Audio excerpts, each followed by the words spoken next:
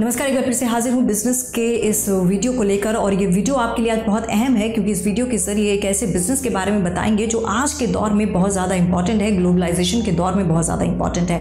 कौन सा है वो बिज़नेस वो आपको जल्द बताएँगे, लेकिन उससे पहले आपको सब्सक्राइब करना है हमारा चैनल वीडियो अंत तक देखिएगा, पसंद आए तो लाइक कीजिएगा और हाँ कमेंट बॉक्स में लिखकर ज़रूर बताइएगा कि आप किस तरह के वीडियोज़ और देखना पसंद करेंगे। तो चलिए, शुरुआत करते हैं आज के इस वीडियो की।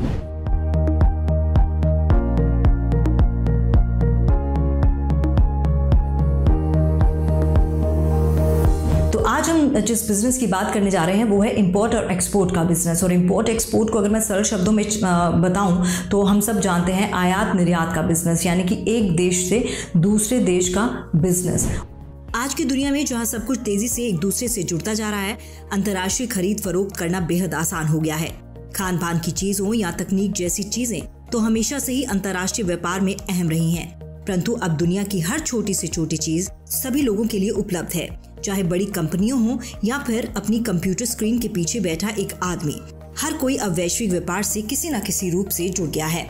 एक्सपोर्ट इंपोर्ट कंपनीज़ कस्टमर्स तक सामान पहुँचाने के लिए नित नए तरीके निकाल रही हैं। इससे अब ग्राहकों के इंतज़ार का समय भी कम हुआ है। आजकल लोगों के पास बिज़नेस के ढेरों आइडियाज़ हैं, पर सफलता की गारंटी किसी के पास नहीं। एक्सपोर्ट इंपोर्ट एक ऐसा बिज़नेस है जिसमें आपकी डिग्री बैकग्राउंड आदि का कोई लेना देना नहीं है। कोई भी इसमें अपना करियर बनाने की सोच सकता है। इस बिज़नेस को लेकर एक बहुत बड़ा मिथ ये है कि शायद इस बिज़नेस को लेकर एक बहुत बड़ी पूंजी की आवश्यकता होती है लेकिन नहीं ऐसा हर तरह के बिज़नेस में ज़रूरी नहीं है।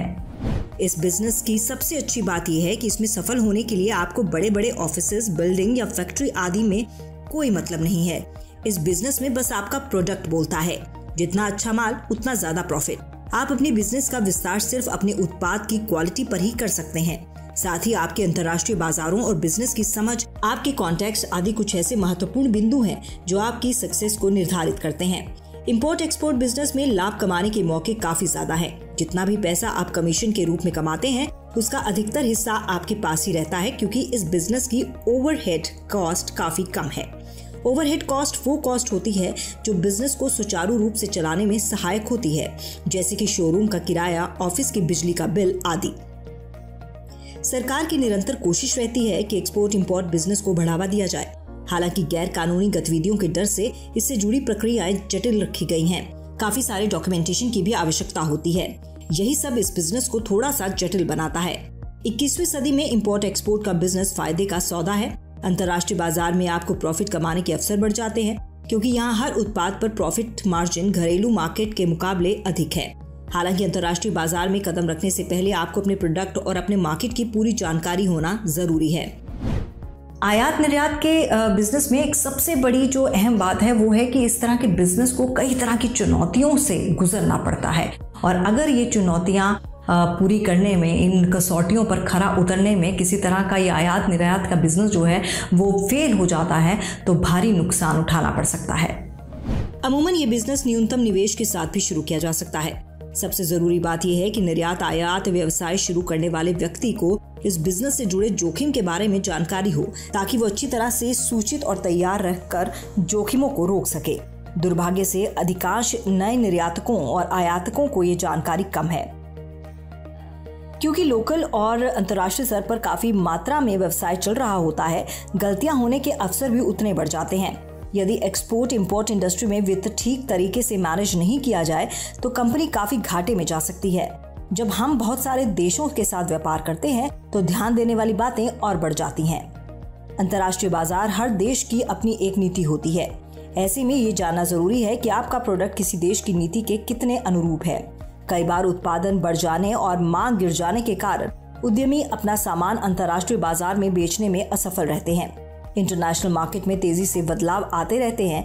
ऐसे में इन बदलावों का नेगेटिव असर आपके बिज़नेस पर पड़ सकता है और बिज़नेस को हानि पहुँच सकती है। देशों की मुद्रा विनिमय दर यानी करेंसी एक्सचेंज रेट भी घटती बढ़ती रहती है। ऐसे में अगर किसी देश की मुद्रा गिरती है तो आपका प्रॉफिट भी उसी अनुसार गिर सकता है। ये ऐसे कारक हैं जिन पर आपका कोई नियंत्रण नहीं। एक सीमा से दूसरी सीमा तक जाने में सामान काफ़ी सारे पड़ावों से होकर गुजरता है। यदि आप पानी के जहाजों के माध्यम से एक्सपोर्ट इम्पोर्ट कर रहे हैं तो डैमेज का खतरा बढ़ जाता है। आपके सामान को नुकसान पहुंचाकर आपका भारी नुकसान हो सकता है। ऐसे लॉस से बचने के लिए आप अपना सामान इंश्योर ज़रूर कराएँ। एक्सपोर्ट इंपोर्ट एक ऐसा बिज़नेस है जिसकी ज़रूरत कभी खत्म नहीं होगी। जब से कारोबारियों ने सफ़र करना शुरू किया, ये बिज़नेस तभी से चल रहा है और आज वैश्वीकरण और परिवहन से आसान होते तरीके के साथ ये बढ़ता जा रहा है।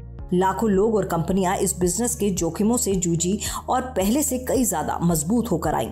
ये निश्चित ही आपके लिए एक राहत का संदेश होना चाहिए कि आप कोई ऐसी लड़ाई नहीं लड़ रहे जिसमें हार की संभावना अधिक हो। अपनी राह पर भरोसे के साथ निकले यही सोच और कॉन्सेप्ट के साथ शुरू करें।